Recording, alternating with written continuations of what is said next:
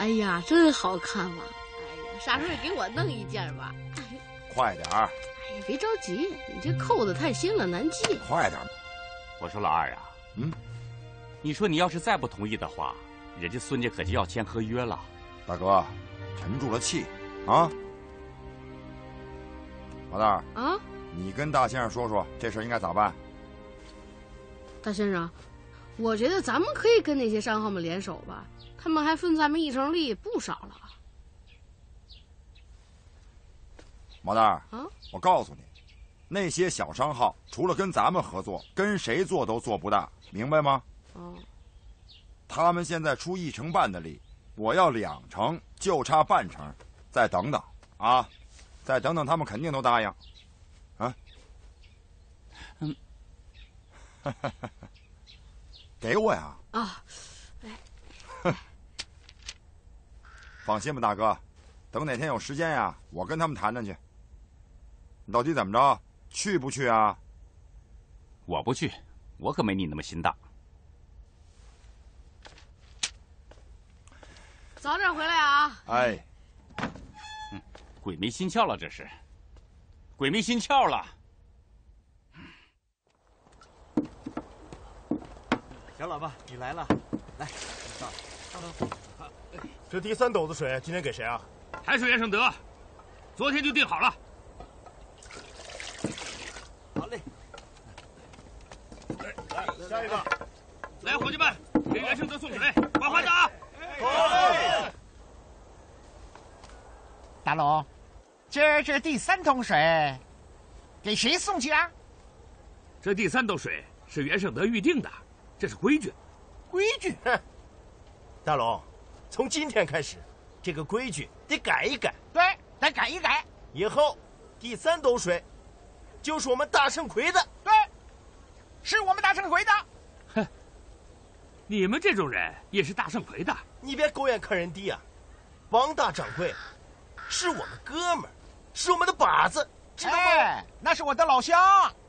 哎，没听说。你说，这第三斗水，凭什么给大圣魁啊？你说凭甚？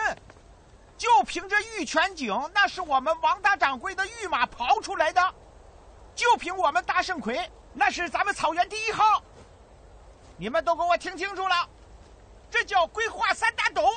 嗯，三大斗，三大斗。大龙，听说过我可跟你说清楚了，以后天天都这样。第三斗水，就是我们大圣魁的。对。嗯。嗯。哎哎，李掌柜，李掌柜，李掌柜，您来了。大龙，这水费啊，我给你加一成。从今往后，这第三斗水啊，必须给我大圣奎送去。对，这是我大圣奎的脸面。赶紧的吧，把这水给王大掌柜送去。快点，快点！好，就按你说的规矩办。伙计们，这第三斗水给大掌柜送去。不行，这规矩咋能说改就改呢？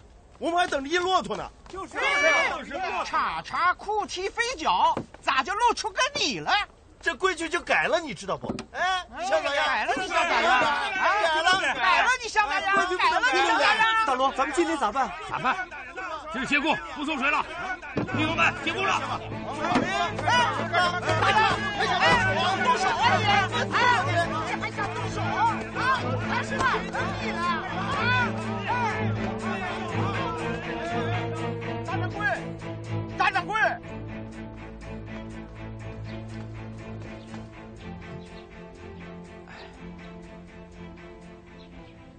什么事儿啊？大掌柜，大圣奎跟袁胜德吵起来了。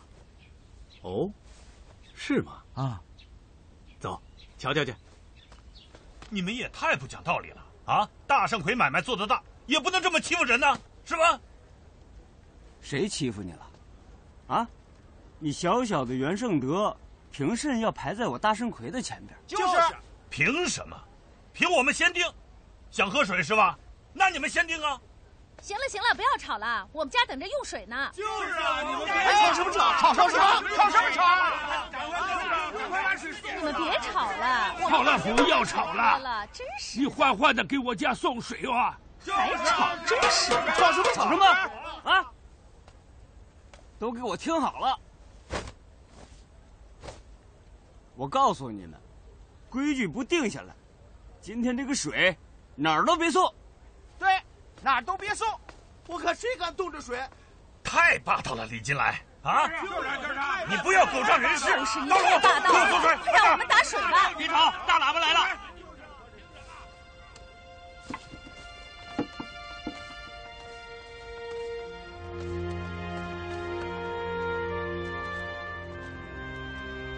一大早就听你们吵吵，再这么吵下去，就把井封了。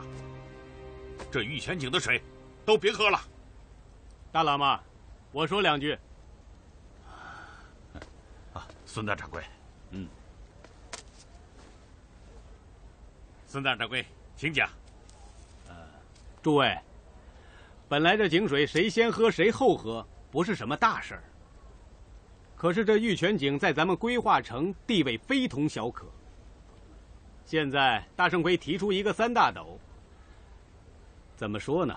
人家也有人家的道理。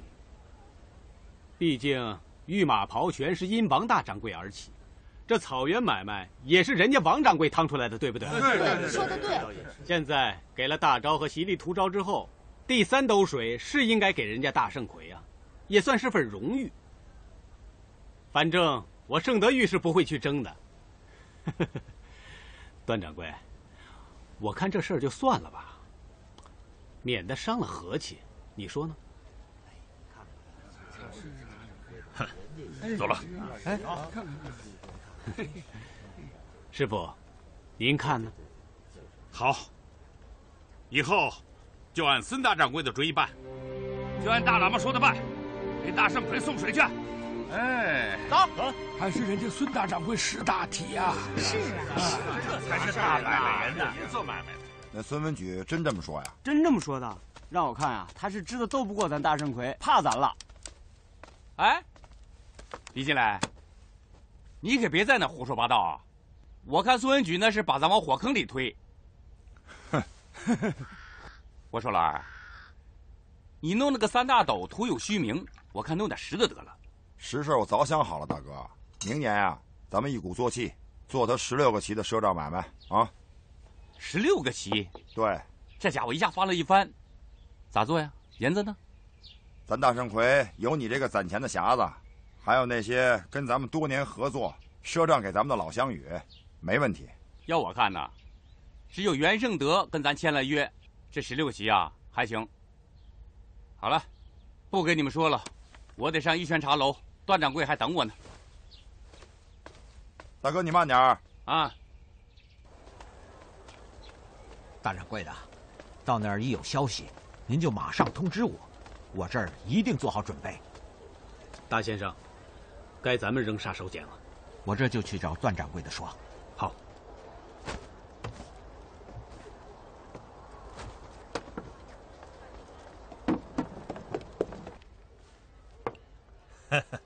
签约？我可真没那个胆量。这大圣魁啊，还没咋的呢，就这么牛。这李金来是什么东西啊？他只不过是大圣魁一个小小的财东，都这么狂。要真跟他们签了约呀，还不知道大圣魁啊咋整治咱呢？说的有道理，是啊，哎，其实我也是这样想的。你说为了能先喝一斗水，就闹出这么大的风波，不和他签，咱们咋办？咱们势单力薄，在后草地做小买卖行，做一两个旗难。哎，不行这样，咱们靠着孙家吧。孙家，孙家比大山魁要的还狠。谁说我们孙家要的还狠呢？蔡先生，你们整个吕蒙商号加在一块儿，还顶不上我们盛德玉一家军供呢。我们少东家能看上你们那一点利吗？啊，那是那是那是。我们少东家临去北京时说了，跟我们盛德玉联手，挣下钱全归你们自己，我们不要一分利。真的？还不仅如此。诸位想做草原上的买卖，缺银子，我们盛德玉准备了十万两银子。哎呦，十万两银子。月息只收八厘。啊！月息只收八厘，只收你们八厘。蔡先生，孙大掌柜真够意思啊！哎，不过这事儿可不能传给大圣魁知道啊。蔡先生，我这心里头啊，跟明镜似的。您放心，我们大家呀，绝不跟他大圣奎一道。哎，对对对对对对，不能跟他一道。对对对对，跟他们。你们俩问清楚了吗？嗯，问清楚了，问清楚了。嗯，孙大掌柜回山西了。他们走的时候灰头土脸的，见谁骂谁。你看我说的吧，他是怕咱们，斗不过咱大圣魁。哎，就是就是。大哥啊，哎呦哎呦，大先生好，大先生不好。你们两个又来干甚？啊！我们现在给大圣魁跑街呢。哎，你们给我们大圣魁来跑街啊？我说我们大掌柜这几天怎么五迷三道的？原来都是让你们俩给我给骗了！滚滚滚滚滚！哎，我们现在已经是大圣魁的人了。对呀。啥？你是我们大圣魁的人啊？你还不知道啊？哎，大先生，哎，大哥，大哥，大哥，你别摔着！哎，快跑，快跑，快跑！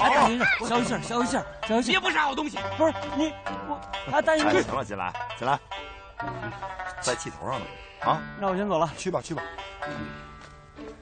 哎呦你看看你啊，大圣魁的大先生啊，拿着一个鸡毛掸子追那两个二球货，要追到大街上让人看见，人不笑话你啊？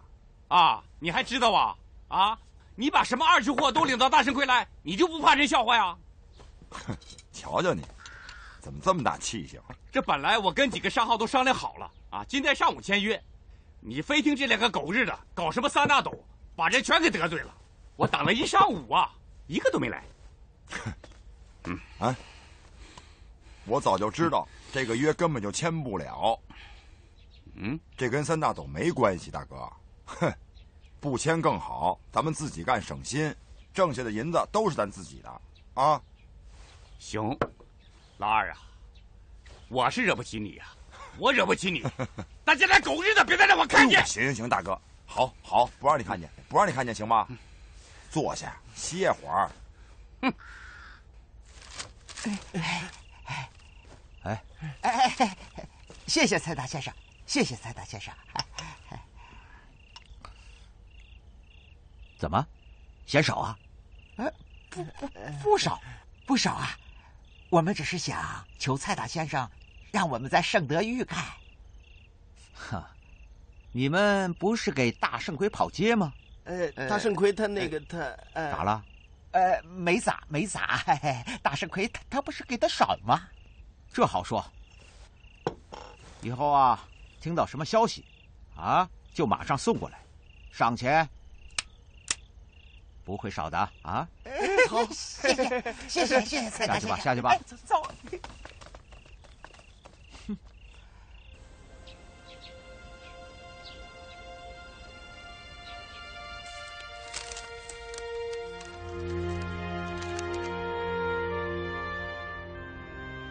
好好啊！皇上为了草原上的安宁，日日夜夜思前想后，担尽心力啊！您的这个主意是让汉商把关内的货物送到蒙古草原上的各家各户，这可是个大好事啊！古人云：“不通则痛，痛则不通。万物疏通，则民心可定。”正合了皇上的心思。好，不愧是八大皇上之首啊！好主意，多谢八大人抬举。来，你再来说说，这个主意该如何推行啊？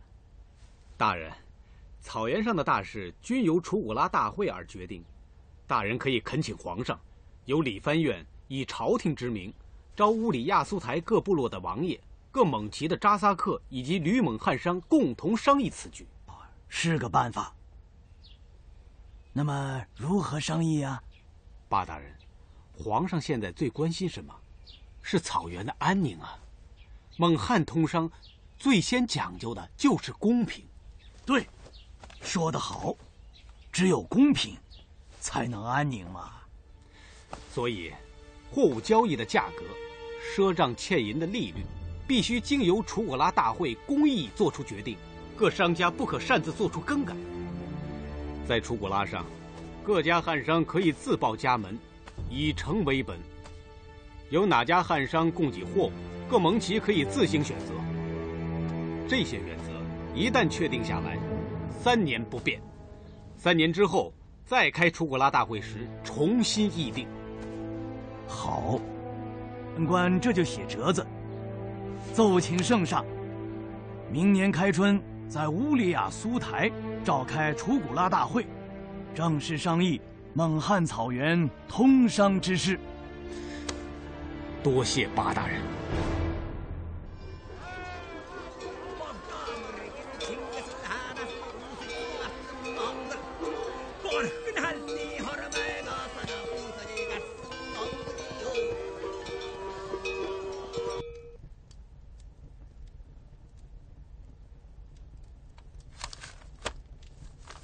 王大，哎呀，哎，您看看这到明年年底，如果草原上不闹灾的话，那咱们每股三年的红利是一千二百两。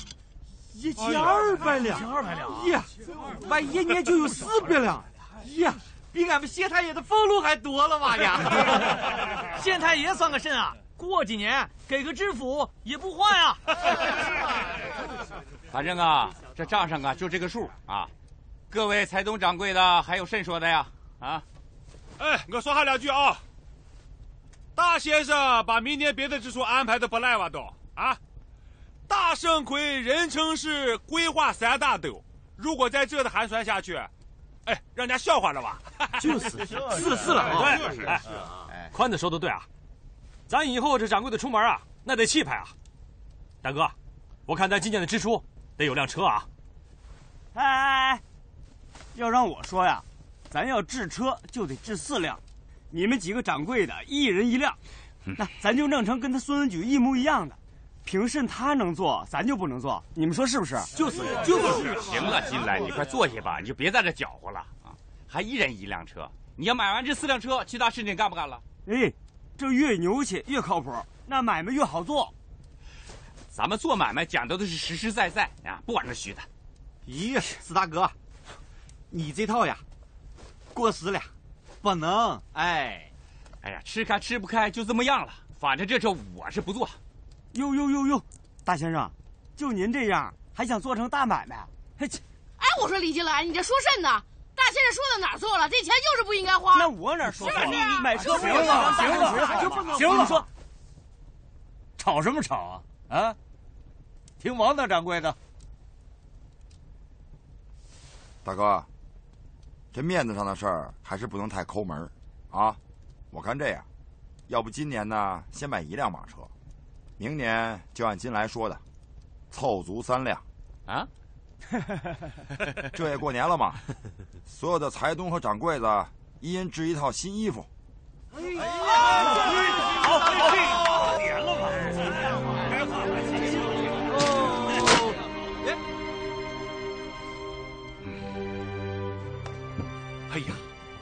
哥，啊，这挂车不赖哦，啊，哎，去去去去去，又来俩讨吃货，一会儿特么王爷来看车呀，想办法给我打发了。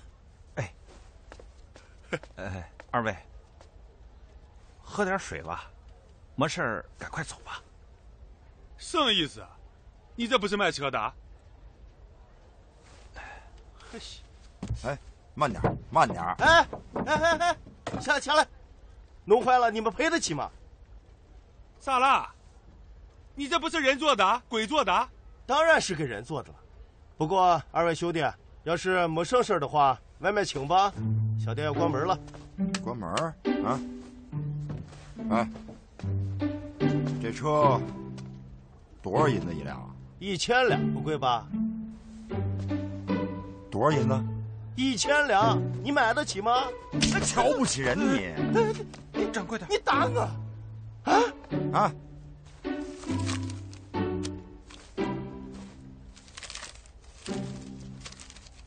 过来！一千二百两，连你都买了。看的是传的烂，走的慢哦。告给你，腰里别的金个蛋！把车给我送到大圣奎。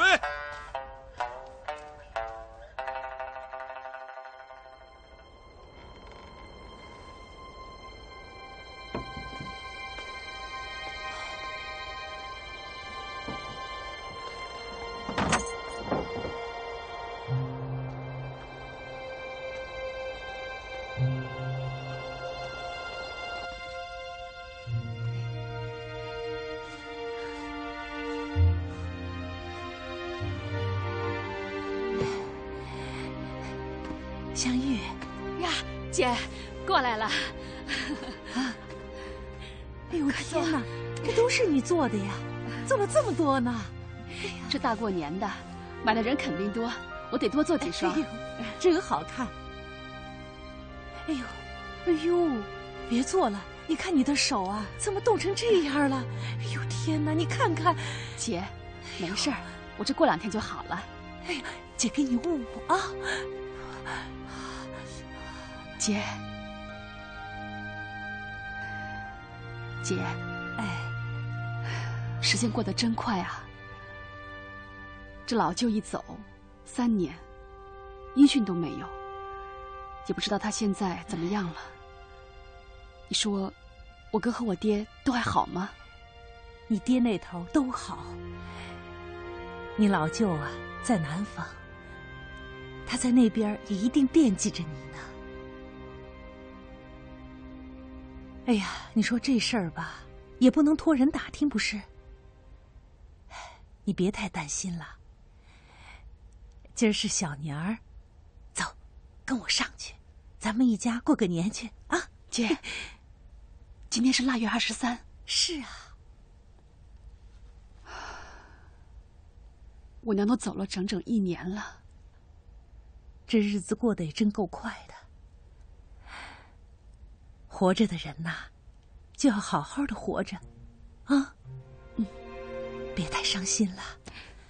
好了，二十三，糖瓜粘，你姐夫买了两袋麻糖呢。走，跟我上去，吃两块去啊，图个吉利。姐，我就不上去了，待会儿你跟姐夫领着顺娃和德厚一块儿过。你姐夫他在上面等你呢，姐。越是过年，越要小心，万一来个人咋办呢？哎呦，我这破家还有甚人来呀？再说要来的话，也得大年初一不是？走吧，别多想了。姐，我今儿做活累着了，我想早些歇着。这样，待会儿你把德厚抱上去，啊？姐，啊？你看，我这儿剪了点窗花。哎，哎呦，真好看呐！来，我帮你把它贴上。哎，姐别，别贴这菜轿子里头，糟蹋了。待会儿拿上去贴上边。哎呦，哎呀，妹子，你真是跟我兄弟啊一样的倔。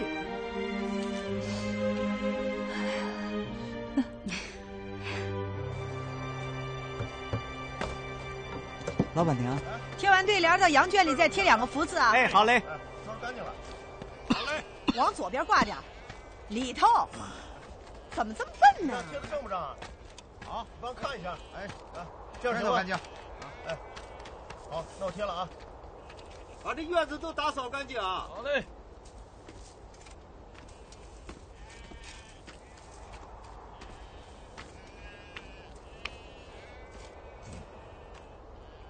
别看了，哎呀，你这两袋烟的功夫都出来三趟了。我跟你说吧，你这些好徒弟们现在一个个都红火的闹不住啊，不会来看你的。我就是图清静，我才住这儿，我不稀罕他们来。啊，行行行行，你图清静，那咱还是回屋去吧。你这咳嗽刚好，这么大风再给你撇着了。哎呀，我在屋里憋屈的，出来喘口气儿嘛。哟，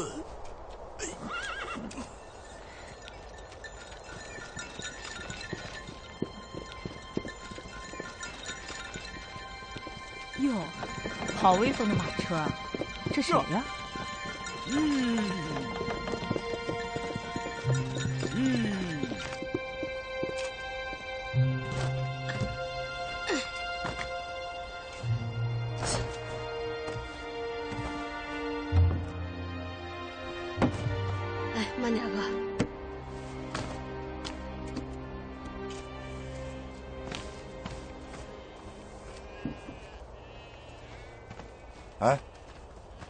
师傅咋的了？咋一见我就走啊？说你是个愣蛋计吧，你还真是个愣蛋计啊！啊？个人也不想想，这都两年了，你也不上来看一眼，我是不是把我们爷俩都给忘了呀？我这不是忙吗？大圣魁每天这么多的事儿，我凤娘，别走啊！我给你带礼物来了。哎凤娘，快哄哄吧。是啊，两年了还记恨我呢。哎，哥，啥是愣蛋儿鸡呀？嘚儿记啊，是道尔吉蒙古话，用汉话说呢，就是聪明的意思。愣就是汉话的愣。他说我又愣又聪明，骂我呢，骂我聪明过头了。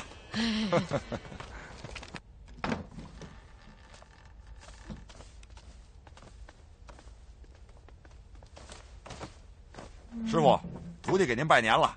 师傅，徒弟给您拜年了。哎呦，哎呦哎呦，起来起来起来！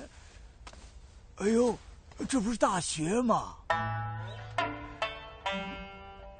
师傅，你怎么连我都认不出来了？这年头，认出一个人很难呐。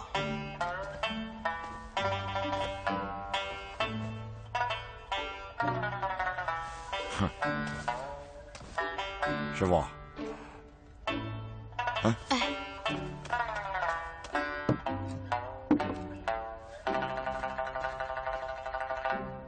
师傅，这五百两银子是徒弟孝敬师傅的。你你是谁呀、师傅，我知道这五百两银子有点少，但是大圣魁三年才分一次红，这银子呢，我是管号里借的。等明年分了红，我一定再来看您。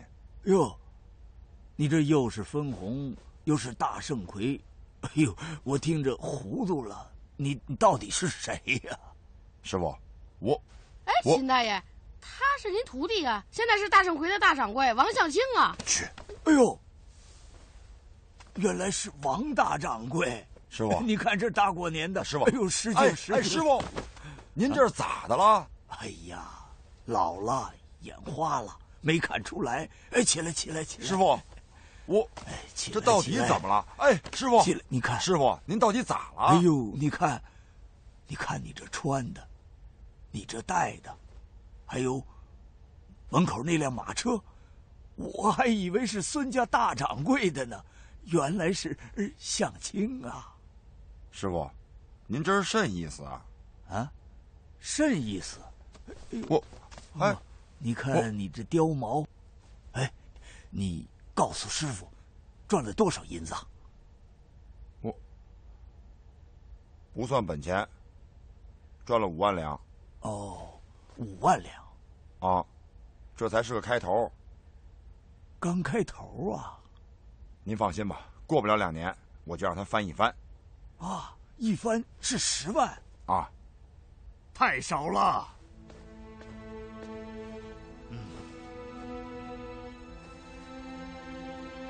师傅，我明白您是什么意思了。你明白什么？师傅的意思，您是在鼓励我呢。您说反话呢，我明白。不过您放心吧，您的话我一定会记住的。这草原上有上百万两银子，现在我已经找到办法了，把它给挑回来，那是迟早的事儿。你是说，你的一招鲜就能吃遍天？对，还是师傅的话金呐。呃，不不不不，王大掌柜的，你现在日悬了，哦，我不能当你师傅了，你还是叫叫老彩头比较顺耳。师傅，师傅，您别生气了，你到底是咋的了？您咋跟我开玩笑啊？谁跟你开玩笑？你要是还认我这个师傅，就不要做大掌柜的，还回来给我挑水。师傅，您别生二弟的气。其实啊，他想送给您八百两银子的。还有你，你愿意跟他回来挑水，我答应你。我是说真的，免得日后你们俩讨吃要饭都没有人给你们。不是师傅，我师傅，您这是明摆着瞧不起我。我是瞧不起你，今天更瞧你不顺眼。不顺眼，我也是您徒弟，我来给您拜年来了。你是来逞能摆阔的，哪是来拜年的啊？我师傅，我们真是来给您拜年的。你给我住嘴！王向清，我算是看塌你了，算我当初看走了眼，怎么选了你？你根本就不是做买卖那块料。我我刚从草原上挑回来两担银子来，就敢夸口吃遍天，哦，真容不下你了。你还是乖乖的回来帮我挑水吧，我是怕你日后被后山的狼吃了。我不回来挑水，我还留着力气挑银子呢。您放心吧，不管您瞧得起我瞧不起我，那草原上的银子也是我王向清的。好。小子，我就等着瞧。趁着年三十儿，我再给你一句话：你死到临头了，知不知道？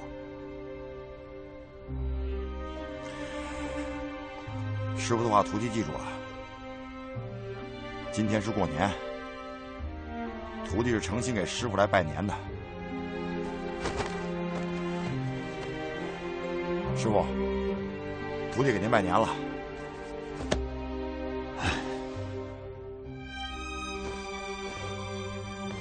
我现在就回大圣回，我倒要看看我是怎么死的。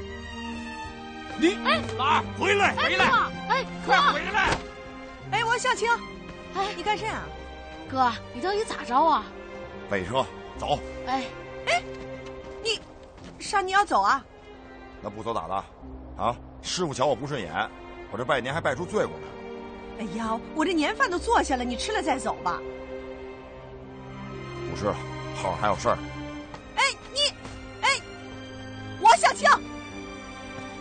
不得我老叔看你不敬业，你狂炸谁呀你？我还就狂炸了，咋呀？你，大哥，人家瞧咱不敬眼，磨蹭甚呀？走啊！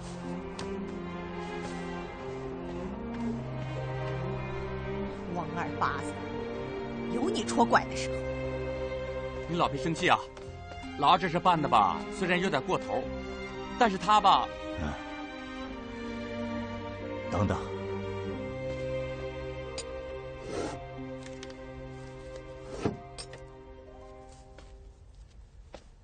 过年了，我要送点东西给他，叫他把下联对出来，对不出来。还回来给我跳水，哎，师傅，那我走了。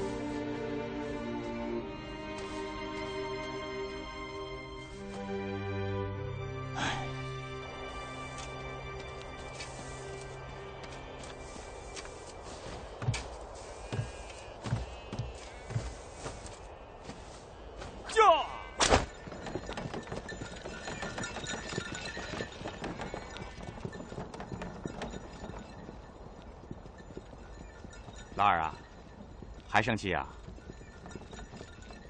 你呀，师傅说的对，你是有点太狂了。我咋狂了？啊？我咋狂了？啊？咋你也说我狂啊？不是，这大过年的，我不能买身新衣服穿呀。啊，你不愿意买，对吧？你要把银子攒起来，我不能买呀。哎，咱们号上的事这么忙，咱们来给他拜年，咱咋狂了？哎，不是，他就是从心眼里瞧不起咱们。哎，不是不是，哎，消消消消气儿啊，别生气了啊啊！对了，你看，这师傅让我给你的，看看，你看看呢。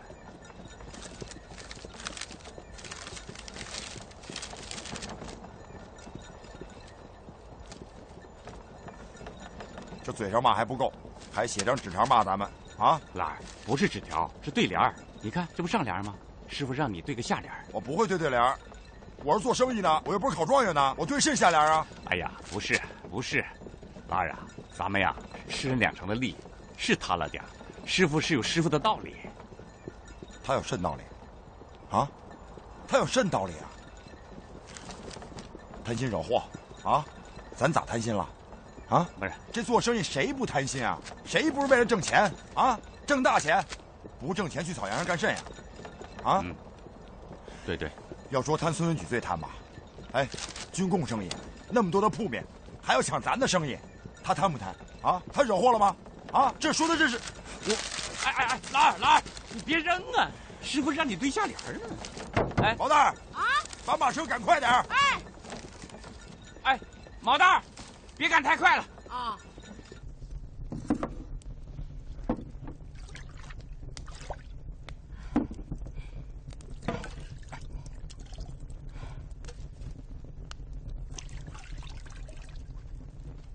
顺娃，照顾好弟弟啊！娃们都饿了吧？来，你和娃们先吃啊！给香玉送去啊！哎，知道。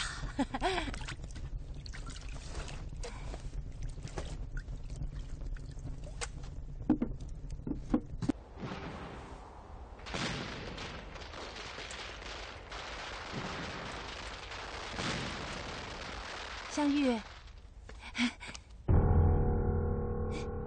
香玉，香玉，当家的，当家的，咋了？这是大呼小叫的。哎呀，当家的，当家的。香玉咋了？香玉，他他他不见了。啊！哎呀，这，哎呀，他一定是回娘家了。今儿。是他娘过周年的日子啊！哎呀，这孩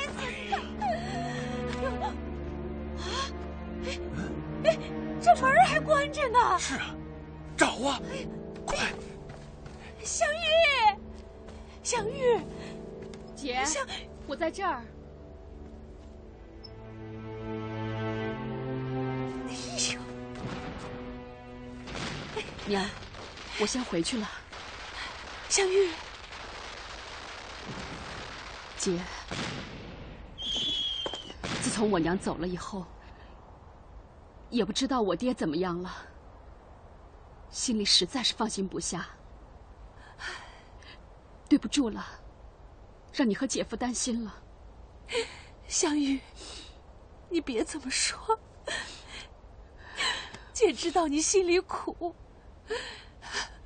可是再苦，咱也得忍着，不是？为了你自己，还有娃，还有相亲，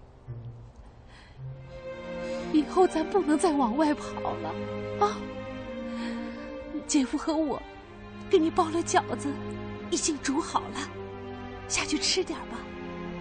哎，香玉姐，香玉。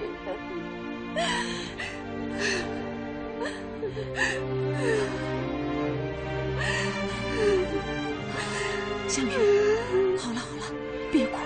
下去啊，走，走啊，小云，走，慢点，慢点啊。老爷，外边有人想见你。来人是谁呀？杜志康，杜先生。哦。那就请杜先生快进来吧。是，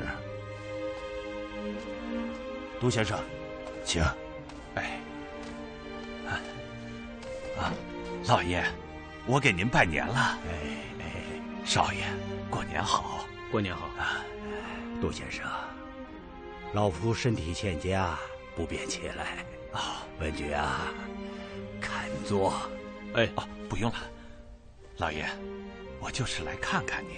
顺便呢，给您送点小礼，杜先生啊，这乡里乡亲的，不要那么客气。哎呀，也不是什么贵重物件。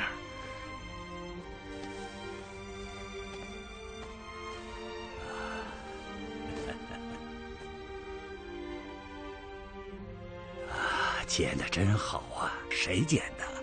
哦，这是我家那口子。我家香玉在的时候，也能剪这个，我结，他就剪，剪的活灵活现的，剪的活灵活现的，活灵活现的。